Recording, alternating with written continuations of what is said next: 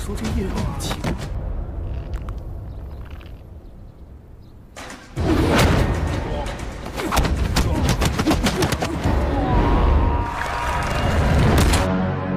Halo guys, apa kabar? Kembali lagi bersama Arif Movie.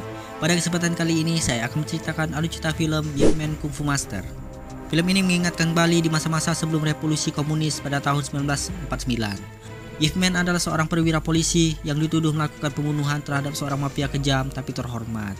Dan Yipman juga harus menghadapi kedatangan tentara Jepang yang licik di tempat ia tinggal. Tanpa berlama-lama lagi, langsung saja ke alur ceritanya.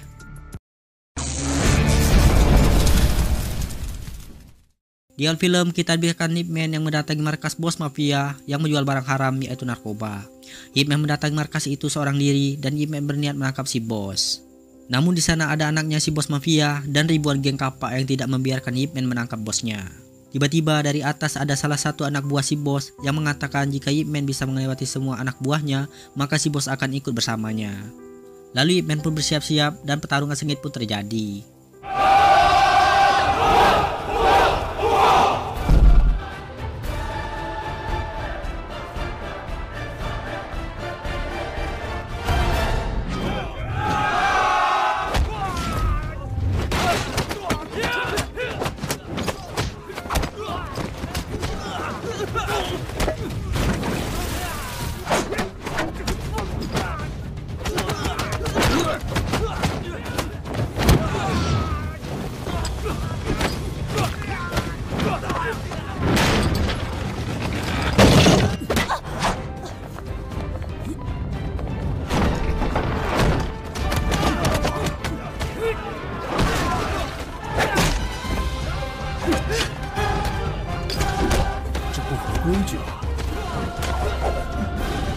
用我斧头帮的法呀！”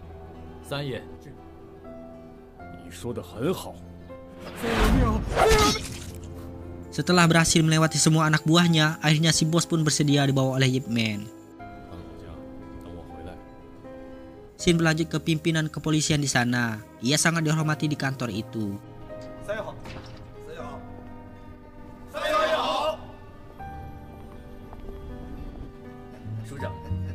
Setelah itu Yip Man pun tiba di kantor dengan membawa si bos. Karena si bos sangat dihormati di kota itu, jadi pimpinan polisi itu memperlakukan si bos dengan sangat ramah. Dan si pimpinan pun berniat mengajak si bos untuk ke kantornya. Namun dengan tegas Yip Man mengatakan ke pemimpin bahwa si bos harus ia bawa ke sel penjara. Akhirnya si bos pun dibui oleh Yip Man. Dan Yip Man pun mengatakan bahwa si bos akan diburu oleh Jepang dan tidak akan membiarkannya lolos. Bukan tanpa sebab, karena si bos telah membunuh Tuan Mei yang bekerja untuk Jepang. 我想看看你的法是怎么对付日本人的。 Setelahnya, Yemen mengumpulkan semua anggotanya untuk berbaris. 出发。 Setelah mengatur anak buahnya, Yemen tiba-tiba ditabrak oleh seseorang dan orang itu menyelipkan sebuah surat kepada Yemen dan Yemen pun mengikutinya. Shin berpindah ke wakil kapten bersama anggotanya yang sedang menggeledah gudang milik Jepang. Di sana mereka menemukan triliunan uang di dalam sebuah kotak besar. Tidak lama kemudian, datang seorang ketua kamar dagang dari Jepang. Ia mengatakan jika mereka tidak akan menemukan narkoba di sana, dan ia juga menyuruh polisi itu untuk mengambil uang sebanyaknya. Setelah menemukan orang sebelumnya, Yipman langsung menanyakan untuk apa surat itu. Orang itu pun mengatakan jika Yipman punya waktu, ia harus menemui si bos untuk terakhir kalinya. Dan orang itu pun pergi. Yipman pun penasaran dan kembali lagi ke kantor untuk menemui si bos. Di penjara ada dua orang misterius yang memasuki selnya si bos. Sedangkan Hitman baru saja tiba di kantor dan berpapasan dengan orang misterius yang menemui si bos sebelumnya. Dan ternyata si bos sudah ditemukan dalam keadaan tak bernyawa. Dan pimpinan polisi bilang jika si bos bunuh diri. Padahal jelas-jelas si bos dibunuh oleh dua orang misterius sebelumnya. Akhirnya Ip Man pun menemui pimpinan dan mengatakan jika pimpinan telah menyalahgunakan hukum. Si pimpinan pun mengatakan jika si bos tetap hidup maka ia akan dibunuh oleh Jepang. Ip Man pun marah dan mengatakan jika ia akan memberikan si bos keadilan. Tidak lama kemudian datanglah salah satu anggota dan mengatakan jika istri Ip Man akan melahirkan. Lalu Ip Man melepaskan semua pakaian polisinya dan memutuskan untuk resign. Sin berpindah ke anaknya si bos yang bernama King Chuan sedang melakukan upacara kematian ayahnya. Di sini King Chuan beranggapan bahwa ayahnya mati karena Yip Man. Dengan rada amarah, ia mengumpulkan ribuan anak buahnya untuk menangkap Yip Man. Tidak lama kemudian, Yip Man pun sampai di rumahnya untuk menemani istrinya lahiran.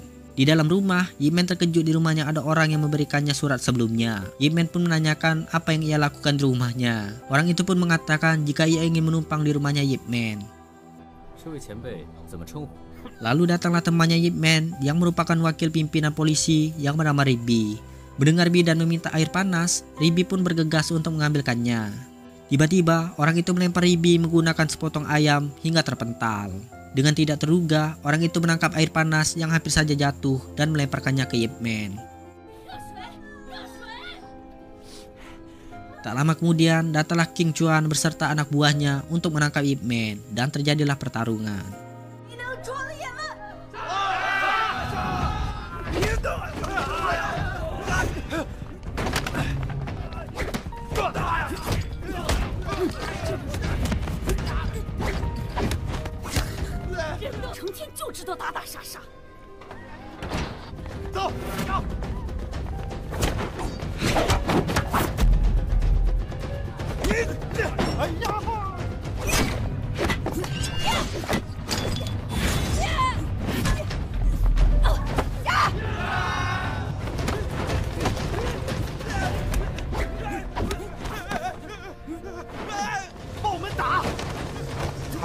重手，我包了。说了，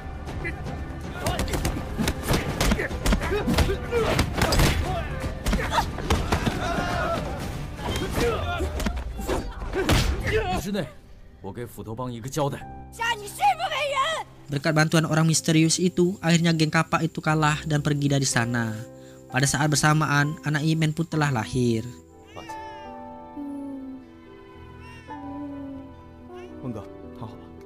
Dengan rasa bahagia, Yemen menyuapi istrinya yang usai melahirkan anaknya.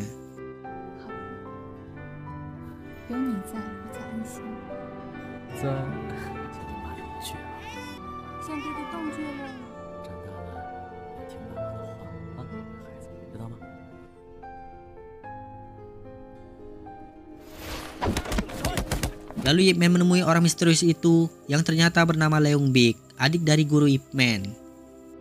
也不配你师傅他老人家惦记。那为何师叔频频出手相救？我是来看咏春他当到疯魔的家伙。 Di tengah perbincangan, terjadilah perselisihan sedikit dan terjadilah pertarungan.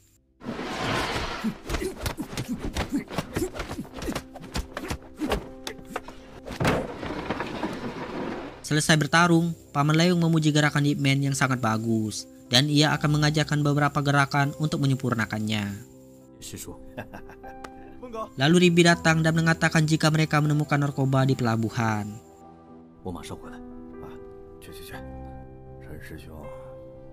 Sikat cerita, mereka pun mengecek dan mengatakan jika semua narkoba itu milik kamar dagang Jepang. Kemudian Yipman menyuruh Ribi untuk kembali ke rumahnya untuk menjaga istrinya, sedangkan ia akan pergi ke markas geng kapak untuk menjelaskan apa yang terjadi.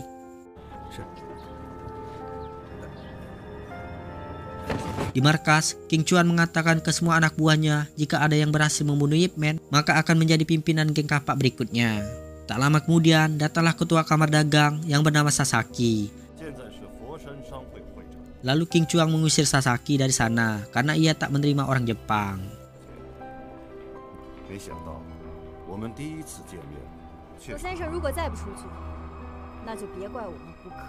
Dengan ada santuy, Sasaki bilang jika waktunya untuk reformasi. Tiba-tiba, semua anak buahnya bersiap untuk menyerangnya. King Chuan pun menyadari jika ia telah dihianati, dan ia juga menyadari jika yang membunuh ayahnya adalah Sasaki, bukan Yip Man. Dan King Chuan pun harus pasrah melawan puluhan geng kapak di ruangan itu.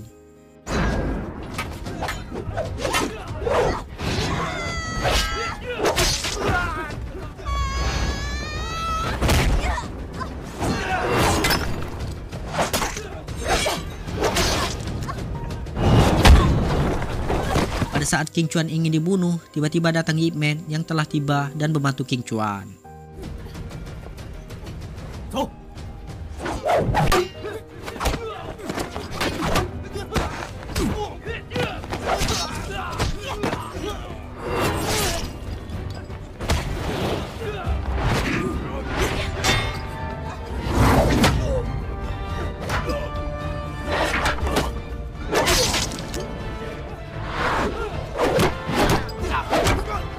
Untuk keselamatan King Chuan, Yip Man menyuruh ia untuk pergi dari sana dan Yip Man akan melawan mereka semua sendirian.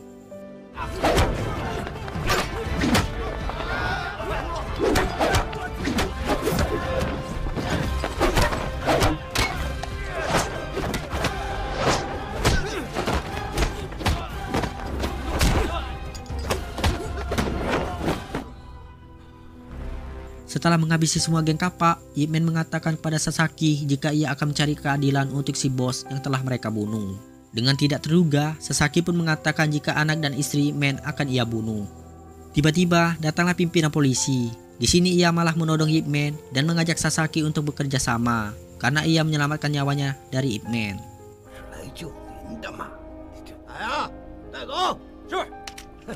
Sedangkan orang suruh Sasaki telah sampai di rumahnya Ip Man. Namun beruntungnya di sana ada Ribi dan Paman Leung dan terjadilah pertarungan.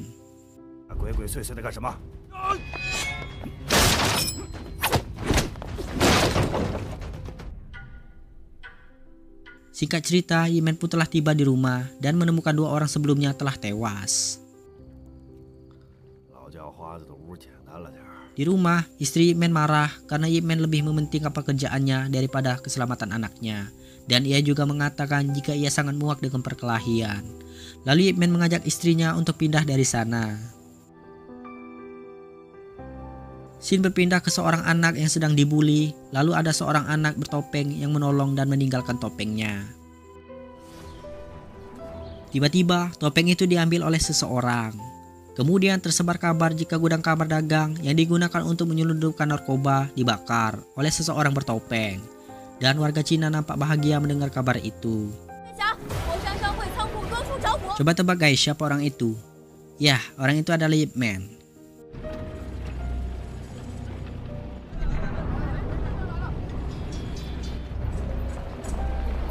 Kemudian datanglah seorang mayor tentara Jepang yang bernama Tokugawa yang mendatangi kediaman Sasaki di Posan, Cina. Ia mengungkap kepada wartawan jika ia akan mengadakan kontes bela diri di kota Posan. Lalu Tokugawa dan Sasaki berbincang untuk menyiapkan kontes itu.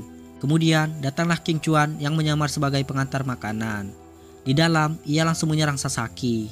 Namun usahanya tersebut gagal karena dihalau oleh Tokugawa. Pada saat King Chuan ingin dibunuh, tiba-tiba ada Yip Man yang membantu. Sasaki pun memanggil anak buahnya untuk menembak Ip Man. Namun Tokugawa menghalanginya dan Tokugawa menantang Ip Man untuk bertarung di arena kontes kungfu yang akan dilaksanakan beberapa hari lagi.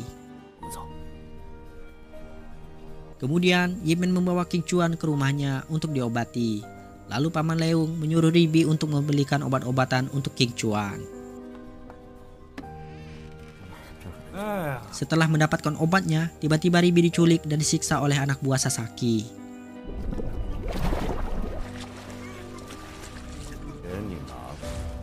咱不能光拿钱不办事。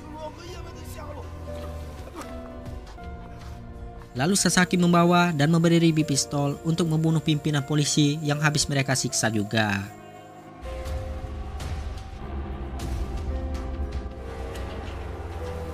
警察署长，你的了。 Keesokan harinya, Sasaki mendatangi Ip Man. Sasaki mengatakan jika besok pas hari pemakaman si bos, ia akan membunuhnya lagi dan menantang manusia bertopeng apakah bisa menyelamatkan orang mati. Dan Sasaki juga mengatakan jika pimpinan polisi dibunuh secara misterius dan kasusnya sedang diselidiki. Di rumah, Yimen memikirkan ucapan Sasaki sebelumnya. Ia takut jika ia mati dan anak istrinya dalam bahaya. Lalu Yipman memutuskan untuk mengirim istri dan anaknya keluar kota. Dan Yipman berjanji akan menjemput mereka dalam satu bulan ke depan. 个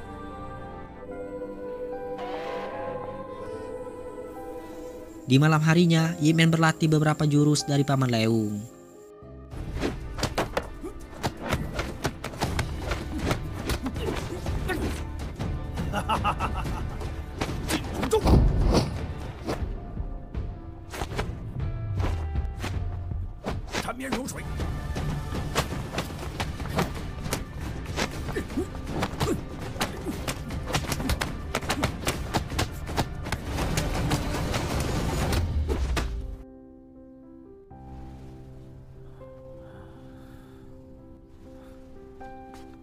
Keesokan paginya, Yemen pun terkejut melihat topengnya hilang.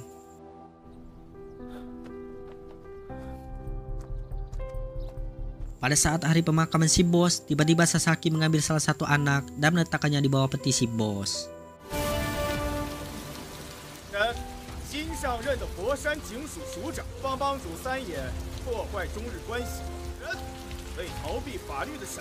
人，Ribi yang telah diangkat menjadi pimpinan polisi oleh Sasaki memerintahkan untuk menembak tali peti itu. Namun ada seseorang bertopeng yang menahan peti itu. Lalu Tokugawa turun untuk menantang duel.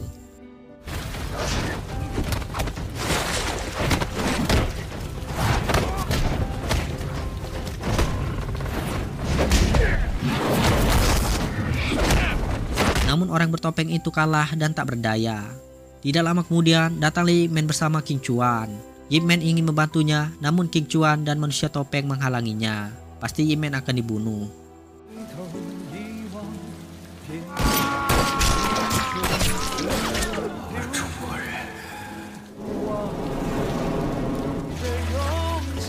Dan orang bertopeng itu pun tewas di belondok peluru. Yip Man pun sedih karena ia mengetahui jika orang itu adalah Paman Leung. Jadi ceritanya guys, Paman Leung ini mengorbankan nyawanya untuk Yip Man. Karena ia tahu jika Yip Man yang akan datang, maka Yip Man lah yang akan dibunuh.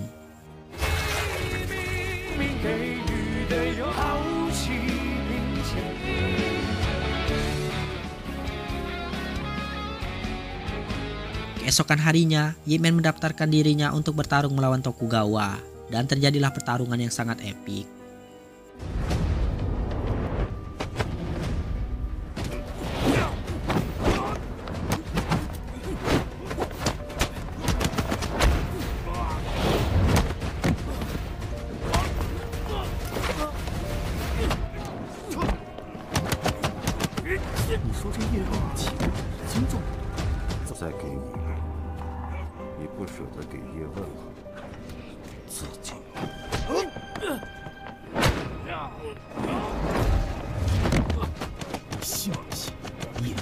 Di tengah pertarungan, tiba-tiba Ribi dibunuh karena Sasaki sebelumnya menyuruh Ribi untuk meracuni Ip Man. Namun Ribi tak melakukannya. Melihat itu, Ip Man pun murka dan dengan sangat mudah membatai Tokugawa.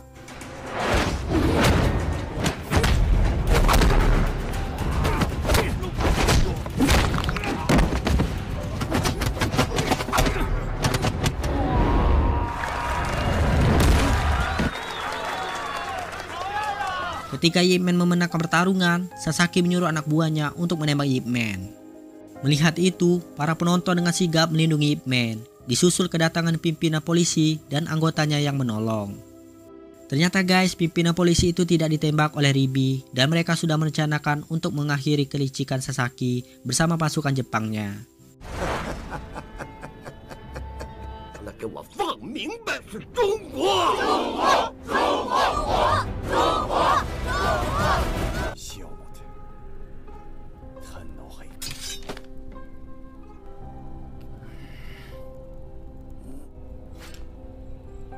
Di adegan penutup, kita diperlihatkan King Chuan yang membunuh Sasaki.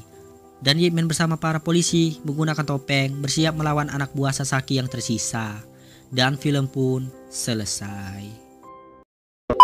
Oke guys, itulah alur cerita film Yip Man Kung Fu Master. Mohon maaf jika terdapat banyak kekurangan dalam bercerita. Jika kalian suka video ini, klik saja like dan subscribe channel ini. Salam Cuko Dak Becuko Tengah Duo.